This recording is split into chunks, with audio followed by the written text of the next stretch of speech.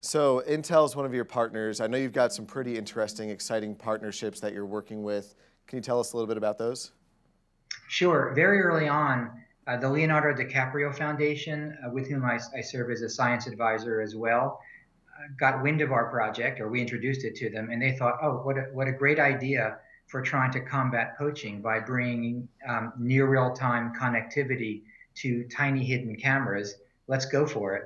And then that in- attracted the interest of National Geographic, with whom we are actually co-branding our new invention, TrailGuard AI. But really, it's it's the engineering help and the access to a tiny chip the size of your pinky uh, fingernail called the Movidius Myriad 2 Vision Processing Unit. Very long name for a very tiny chip, but that's able, that actually has 14 microprocessors on it, that's able to run uh, detection algorithms of humans or animals on the edge, so on the chip itself rather than in the cloud. And that's that's a phenomenal game changer for us.